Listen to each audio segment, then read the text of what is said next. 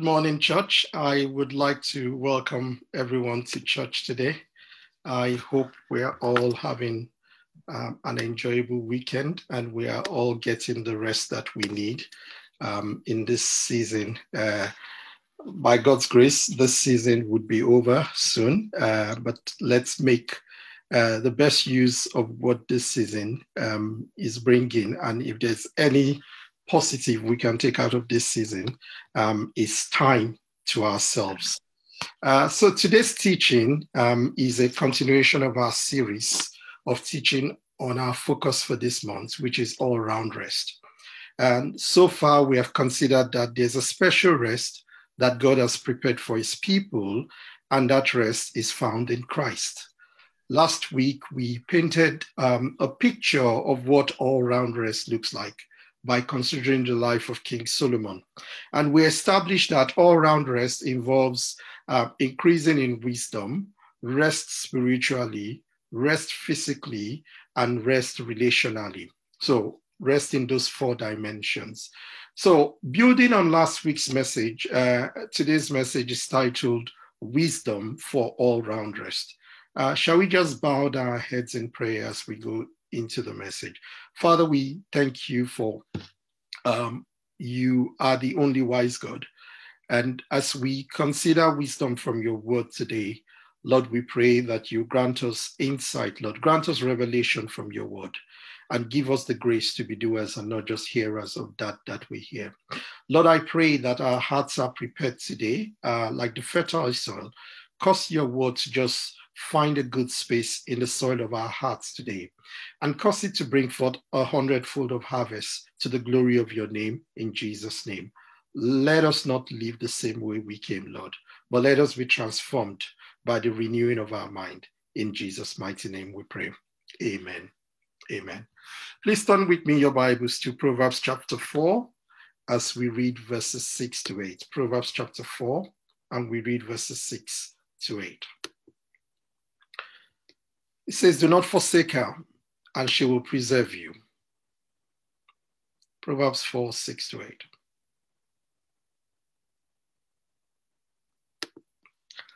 Do not forsake her, and she will preserve you. Love her, and she will keep you. Wisdom is the principal thing. Therefore, get wisdom, and in all you're getting, get understanding.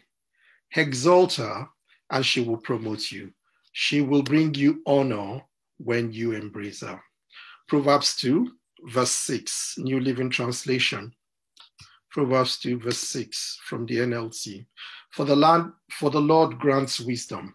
From his mouth come knowledge and understanding. There are three concepts that are often described together in the Bible, especially in the book of Proverbs, and they are wisdom, understanding, and knowledge. Now, these three concepts are related, but they are not one and the same thing. Knowledge um, is acquisition of information, gathering information through experience, through reasoning, through acquaintance. So we gather information, we gain knowledge by experience, reasoning, or acquaintance. So to be knowledgeable means to have information about something or someone. If I say I'm knowledgeable about a particular thing, I have information about that thing.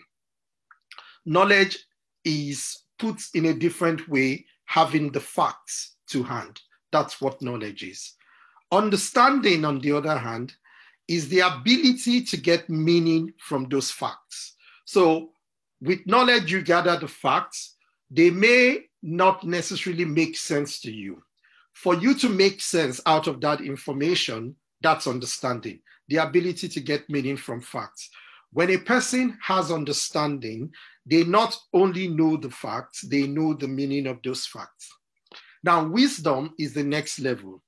Wisdom is knowing what to do, giving the understanding of, of the facts of the circumstances. So you have that information, you know the meaning of it. Wisdom is now knowing what to do with it.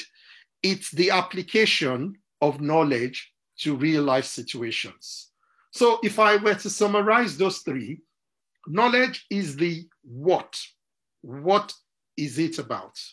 Understanding is the why. You understand, you, you get the meaning, the, you have an insight into it.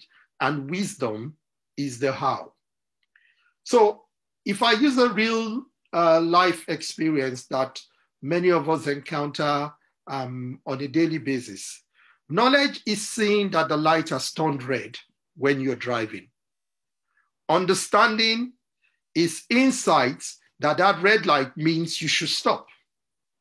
And wisdom is stepping on the brakes so that your car comes to a halt. That's knowledge, understanding, and wisdom. So, from that illustration, you can see that a person can have knowledge without understanding or understanding without wisdom. But it's impossible to have wisdom without knowledge and understanding. And this is why the Bible says wisdom is the principal thing, because it's the sum of it all. The whole idea of knowledge is so that we can understand it and be able to apply it to a given situation or circumstance. And that's what wisdom is. And that's why it's the principal thing. Principal means foundational. It's the foundational thing. It's the one thing you cannot do without. It's the supreme thing, one that you must esteem above all others. Because more often than not in life, problems arise because wisdom is lacking in a particular area. Not always, but more often than not, problems arise because wisdom is lacking in a particular area. Many people think that they have money problems. In reality, what they have is wisdom problem. Because we've known from experiences and history that people can be the brokest of broke. And yet, when they gain wisdom, they can achieve phenomenal wealth. We know from experience that people can be in debt. And when they seek the needed help and get the right wisdom, they can settle all their debt and be on their pathway to wealth. People don't often have money problems. What they have is wisdom problems. Many people think they have a relationship problem. In reality, what they have again is wisdom problem. It's not a relationship problem. I watched a movie a while ago, I think it's Fireproof. And in one of the conversations between two chaps, one of them was talking about counseling and he was telling his friend who was having marital problems to try it. And the friend said, Oh, I don't believe in counseling. Well, what did you learn from it? And he said, I learned that my marriage was not broken. My marriage was not the problem. What I didn't know was how to run it, how to run the marriage. So that's sometimes, and in, in many instances, and, and as somebody who has been involved in counseling couples a couple of times, I know that often the issue is not the person's concerned, it is because wisdom is lacking. It's a wisdom problem. Other people think that they have a problem child. Again, the problem is not the child, but the absence of wisdom to deal with the child's behavior. Some people think that they have a problem passing an examination or getting a job. The reality of the matter is that what they often have is a wisdom problem. They don't have the wisdom for approaching the exam. Having done countless exams in my life, I know that every exam has a technique for approaching it. And more often than not, knowledge is just halfway there. The technique for approaching it is probably what will get you all the way there. Some people go for job interviews and they keep getting rejected. And they feel the problem is that people don't like their face. In reality, the problem they have is a wisdom problem. They don't know how to approach job interviews because even with interviews, there are techniques. The same answer, you can give it in a different way and not get the job. But give it in the way that you should give it, then you get the job. I remember my first interview in the UK this was my first interview for a medical job. And I finished that interview. I thought I had done very well. And I was speaking to a friend um, who was one of those instrumental in putting me through um, in my early days in the UK because he had been in the UK about two or three years before me. And I was telling him, he was asking me, So, what questions were you asked? And I was giving him the answer confidently in the belief that I had done very well. And he was just listening. And when he finished, he started to give me feedback. And one of the feedback was that, well, I hope you get the job. when he said that, obviously, he didn't, he wasn't very confident I was going to get the job. And in reality, I ended up not getting the job. But one of the things he told me, like a very good example, uh, they asked me what was my career goal. And I was talking about, yeah, I want to climb the ladder and after some years go back to Nigeria and set up my own center and all of that. And he was telling me, and he said, here, uh, the NHS is paid for by public fund. People want to know that they are using their money to train doctors who are going to stay here to look after them. He said, even if you have the vision of going back to Nigeria, never ever in your life mention that again in an interview. And that was wisdom. So I thought I did well. I didn't get the job because I didn't have the wisdom for it. So in many areas, we lack the wisdom that's the reason why we struggle. The solution to many of the problems we face in life is wisdom, wisdom, wisdom. That's the solution more often than not. Albert Einstein famously said, no problem can be, can be solved from the same level of consciousness that created it. What did Albert Einstein mean? What he's saying is that the, prob- that the problem developed is a pointer to the fact that there's something you're not doing correctly at your current level of awareness. There's a level of awareness that you're operating at that has brought about that problem. If you must resolve that problem, you need an increased awareness. You need the knowledge that you don't have right now to apply to solve that problem. So you need wisdom that is specific to solving that problem the wisest man who ever lived. King Solomon puts it in another way in Ecclesiastes chapter 10, verse 10. Ecclesiastes chapter 10, verse 10. This is what he said. He said, If the axe is dull and one does not sharpen the edge, then he must use more strength. But wisdom brings success.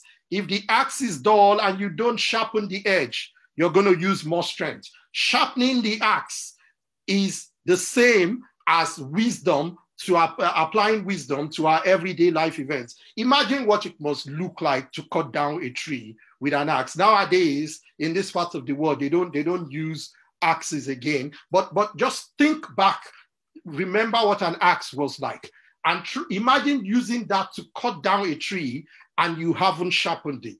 Think of how many hours that would take you. Think of how much strength that you need to apply. That's how it is when we operate in life in any area without wisdom in that area. The presence of struggle is often an indication of the absence of wisdom. Now, the understanding of this truth is liberating, and your life will change for the better once you recognize it. Your approach to situation will change once you understand this truth.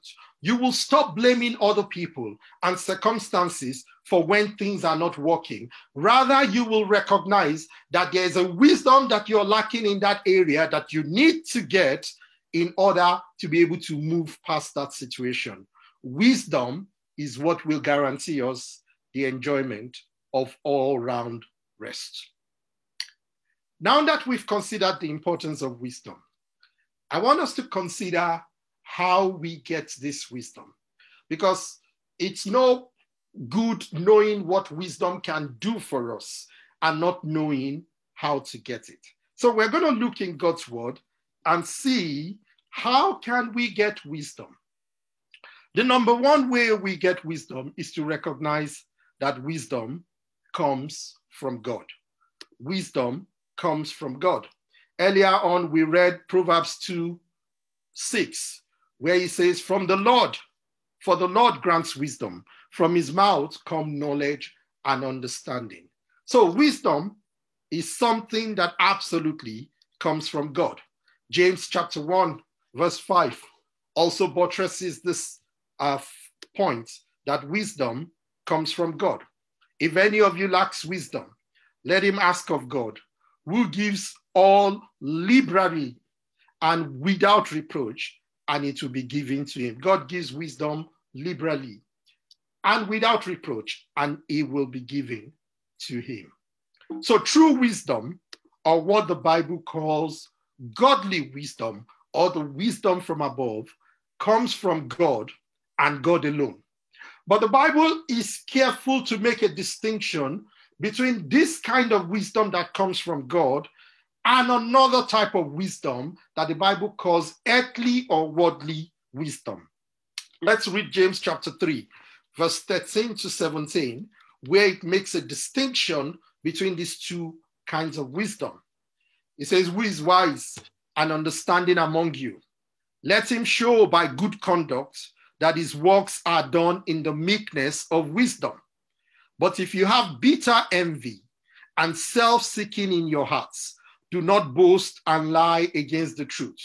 This wisdom does not descend from above, but is earthly, sensual, demonic.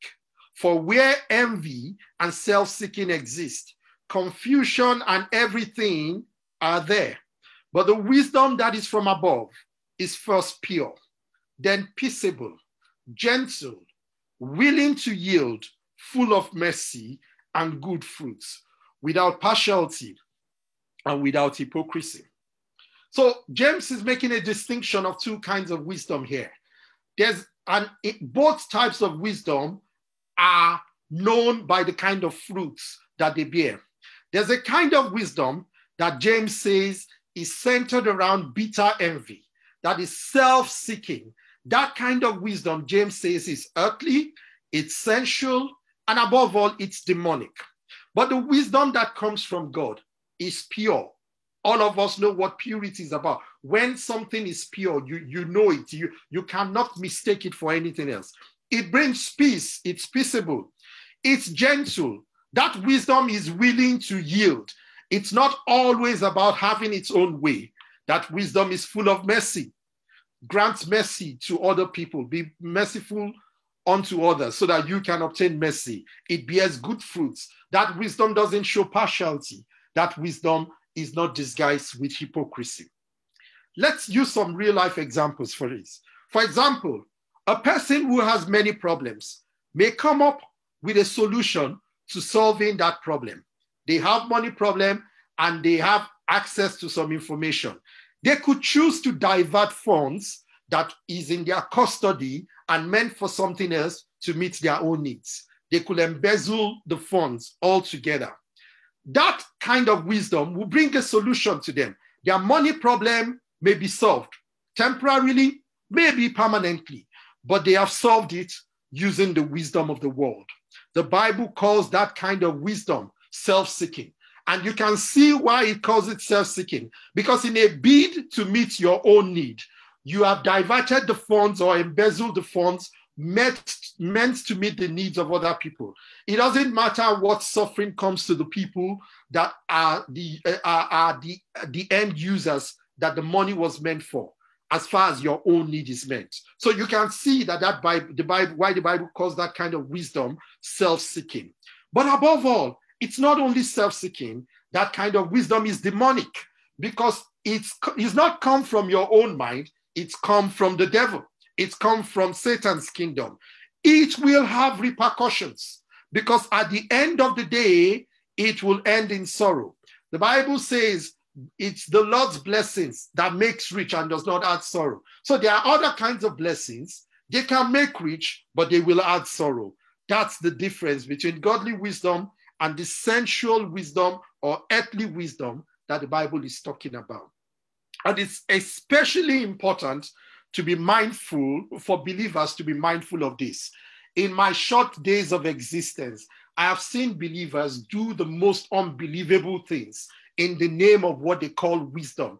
It is earthly wisdom, it's demonic, it's sensual, it's not pure, it's not from God.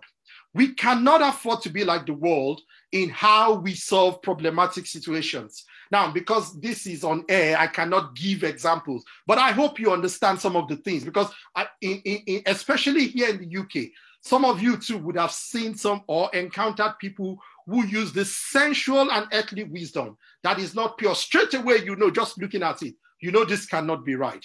But people say, we will do it and they will beg God for forgiveness. That wisdom is demonic, is going to have repercussions. God may forgive you, but you will reap what you sow. We cannot build our lives on one lie after the other and say it does not matter. It does matter. But all we need to do, the Bible says, is to ask God for wisdom. God does not withhold it. He's not stingy with it. God, the Bible says God gives that kind of wisdom liberally. But it starts from the foundation of the fear of God to make a decision that, you know what, whatever the case, I will not sin against my God. I will not sin against my conscience. You know, the solution, Joseph could have seen a solution in going to bed with Potiphar's wife. He was already head of the house. No doubt, had he obliged her, he will enjoy lots of favors, uh, even without Potiphar knowing. But Joseph was not about what was in it for him. He said, How can I do this thing, this wicked thing, and sin against my God? That's the important thing. That's the critical thing. And God gave him the kind of wisdom that ultimately got him to where he needed to go through. Yeah, temporarily he had to go to jail, but at the end of the day, he got to his destiny. God's wisdom will always land us in a peaceable place in the long run. Proverbs 9:10 says, The fear of the Lord is the beginning of wisdom. So, a godly type of wisdom is rooted in the fear of God. What does it mean to fear God? It means quite a number of things, but firstly, it means a recognition that He is God and you are not. He is God and you're not. And that statement is loaded with so many things. When you recognize that He is God and you're not, you recognize that His wisdom, as far from yours, as far as the heaven is from the earth. So when He says this is the way to do it, you realize that He knows what He's saying, and you learn to lean on His wisdom. You learn to trust His words, what He said, and how He said it should be done. We need to ask God for this wisdom, but it starts in the fear of God. The second thing, or the second way we get wisdom, is that wisdom increases from meditating on God's word. Wisdom increases from meditating on God's word. In the first message of this series, when I listed three ways that we can enjoy all round rest, I stated that the third way is to do what God says. How do you know what God has said? Is by meditating on His word. That's how you get to know what God has said. There's a reason the Bible is called the book of wisdom because it contains the express intentions of God's heart. That's why it's called the book of wisdom. It's a revelation of God's wisdom. There's no area of life, I repeat, there's no area of life that is not covered in the Bible. We struggle only because we don't know them. You know, this time of the pandemic, I discovered some more, and because part of my devotional in, in during the first lockdown was Leviticus. I found that even the things that we base our sciences, our science on today, self-isolation, social distancing, hand washing, covering of face. Go to Leviticus. You will see all these public health principles in place as a way that God told the children of Israel to curb pandemic from spreading in their midst in those days. All these health precautions were there. If you want to know about project management, go and read the book of Nehemiah and see how he managed the project of rebuilding the wall every single area of human endeavor, the wisdom for it is found in God's word.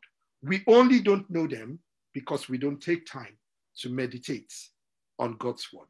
Proverbs chapter 1, verse 5 says, A wise man will hear and increase learning, and a man of understanding will attain wise counsel. A wise man will hear and increase learning, remember in the days that this was written, the way people primarily gained knowledge was through hearing, because many of the things were spoken. The wisdom were in the spoken words. It was called the oral traditions um, of the prophets. So as they spoke, people listened. So if this was written in today's time, it would read something like a wise man will read and increase learning, since that's the primary way that we gain knowledge now. Most things are written in the books, and a man of understanding will attain wise counsel. Matthew chapter 7, verse 24. It says, Therefore, whoever hears the sayings of mine and does them, I would liken him to a wise man who builds his house on the rock. Who is the wise man? The one who hears the sayings of Jesus, the words of Jesus, and does them. Hearing alone is not enough. In fact, in subsequent verses, the foolish person, Jesus likened to the person who heard and did not do. So the wisdom is in knowing what God says from meditation and applying it to our lives. That's how we get the results. That's how we increase in wisdom. Number three way in which we gain wisdom is that we increase in wisdom by keeping wise company. We increase in wisdom by keeping wise company. Proverbs chapter 13, verse 20 says, He who walks with wise men will be what? Will be wise. But the companion of fools will be destroyed. He who walks with wise men will be wise, but the companions of fools will be destroyed. Do not be deceived, people of God. Wisdom is contagious in the same way that foolishness is. If you keep company with the wise, you will become wise. In the same vein, if you keep company with fools, you will become foolish. So the company you keep is very important. And when you think relationships, think of relationship in three dimensions.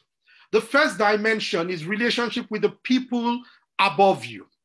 These are parents, mentors, coaches, leaders. They are the people who, by virtue of age and experience, know more than you do. Learn all you can from them. They should inspire you. Every one of us must have people that we look up to, that can inspire us, that we can learn wisdom from. People that we can take questions to by the leading of the Holy Spirit and expect to get answers. This includes mentors that you may not be able to relate with physically most of the times. Get their products, get their books, get their teachings, watch their teachings, listen to them as you drive. You gain wisdom from that. Pastor Yonggi Cho, in one of his books, said something, and I'm paraphrasing. He said, When you read a person's book, you may read in 10 chapters what took the person 10 years to learn. So you have saved yourself 10 years of another person's experience. All the mistakes he made in that period, you have saved yourself those by just reading those 10 chapters that is written. You can gain wisdom even from people, following them in the ways they have expressed the wisdom of God in their life. The second dimension of relationship is with your peers, people at the same level as yourself. Even these people must be wise people. They must be people who challenge you to be better in a healthy way. They are friends that I've had for three decades or more.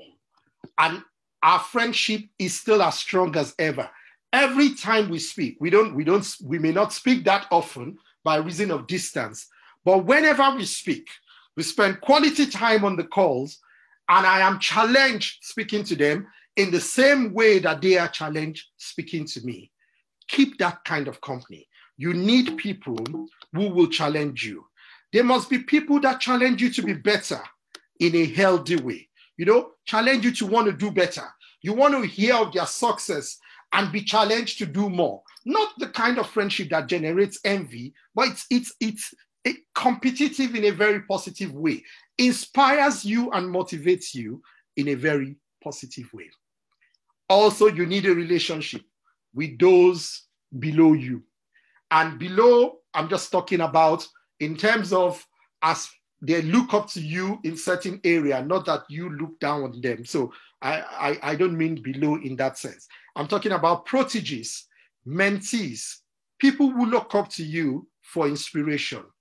that relationship ensures that one, you're giving back also as you're getting from those above you, you're giving back. But it also ensures that you stay motivated to become better. You know, to always want to increase your capacity so that you can have more to give. We all need those three levels of relationships in our lives. And the final way for today's message, in which we get wisdom, is that wisdom comes from reflection. Wisdom comes from reflection. You have heard it said before that experience is the best teacher. But like Jesus, I say to you that experience is not the best teacher. Rather, it is the experience you learn from that becomes a good teacher to you. Not everyone learns from experience because not everyone reflects on their experience. And if they don't reflect on it, they cannot learn. Although the experience may have been designed to teach them an awful lot, they don't learn it because they don't reflect on those experiences. So they make the same mistakes again and again because they have not reflected on their experience. Wisdom, however, comes from our ability to reflect on our experiences. Those experiences are nothing more than experiences if you don't reflect on them. It's by reflecting on them that you learn the lessons from them to be able to do things differently the next time. Proverbs chapter 22, verse 3.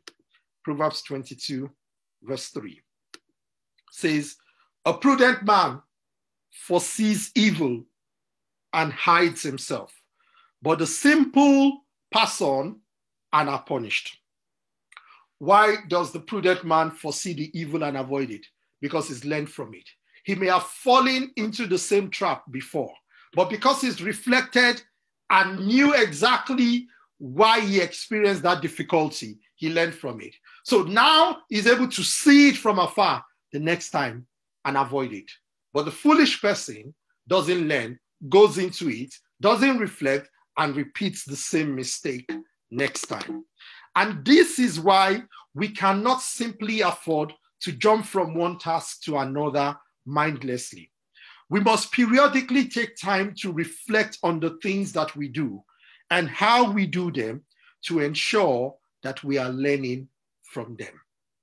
It was Doug King that said, Learn to pause, or nothing worthwhile will catch up to you. Learn to pause, or nothing worthwhile will catch up to you.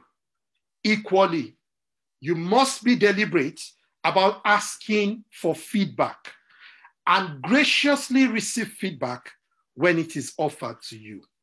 You see, we all have what is called blind spots, areas of our lives that we cannot see, but others can see them. The only way we get to know about these areas is through feedback. And this is one advantage of living in a country such as ours.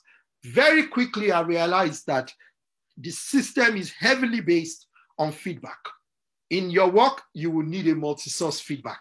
You will have an appraisal regularly where your line manager gives you feedback, but not only from your line manager, from your other colleagues that you work with. And the whole purpose is to help you see those blind spots so that you can improve on it. And it is wisdom to ask for those sort of feedback. The system here encourages feedback. And anyone of any age can give you good feedback. And it's very important to say this. I know some Africans, especially men, are not very open to receiving feedback from people younger than them. It's a feeling of, what do you know? I've been here longer than you. That is a very dangerous spirit to have. It's not a good thing. Anyone of any age should be able to give you feedback. Receive the feedback with gratitude. Reflect on it. Take what is useful out of it. It will make you wiser. Not everything that is given to you as feedback might be useful, but at the very least, you should consider it. You should receive it with gratitude and go reflect on it and take away that that you need to work on. That's how you get wiser. In conclusion, people of God, wisdom is the principal thing. Therefore, get wisdom, and in all you're getting, get understanding. Let us pray.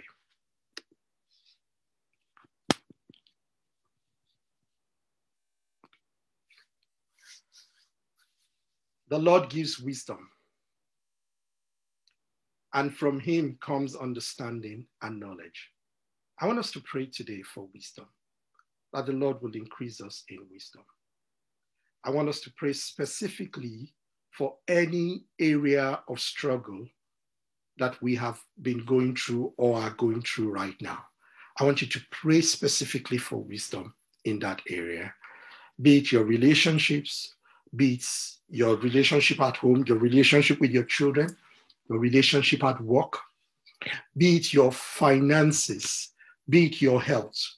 Pray that the Lord will give you the wisdom that you need for that area.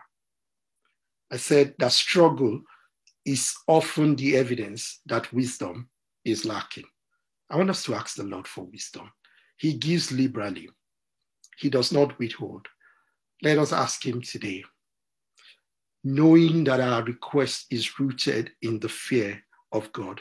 Let's ask for that wisdom that is pure, that wisdom that gives mercy, that wisdom that does not withhold.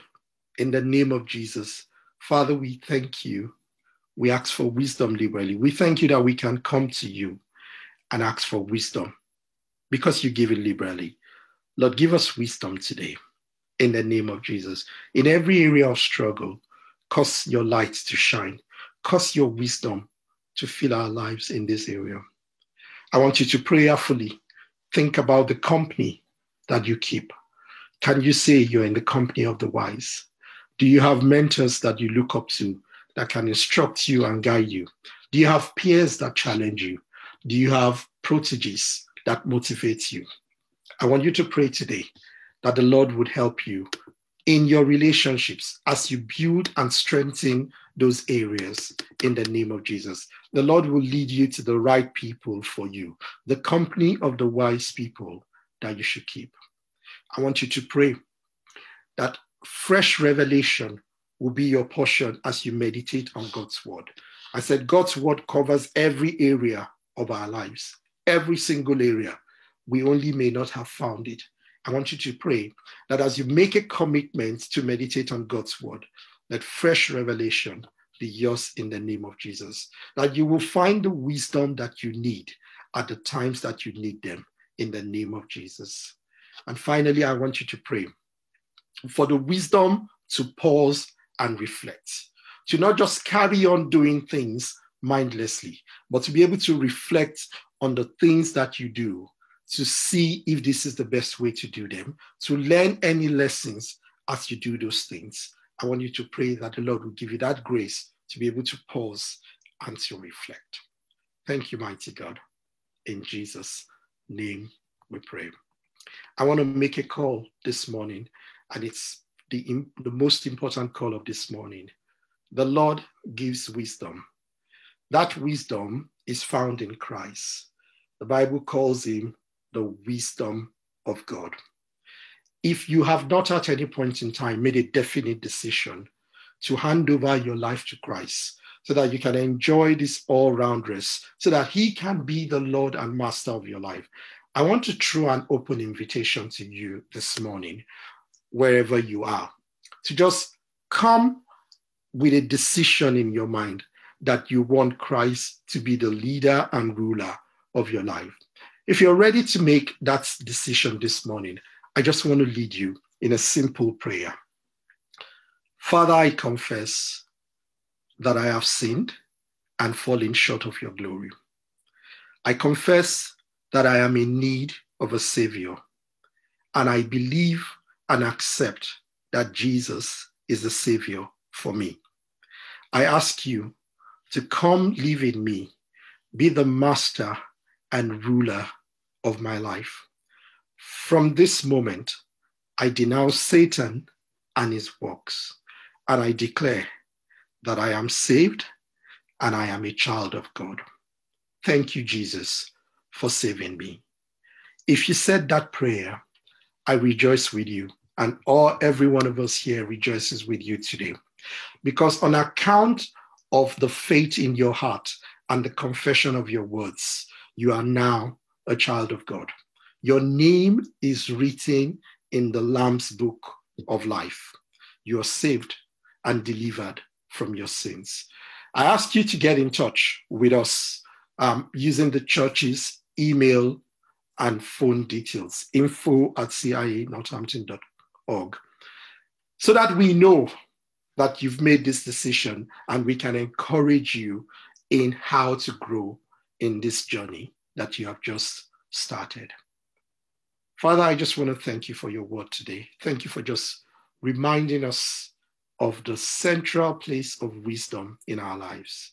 Lord, I pray that you grant us the grace to be doers of these same words that we have heard today.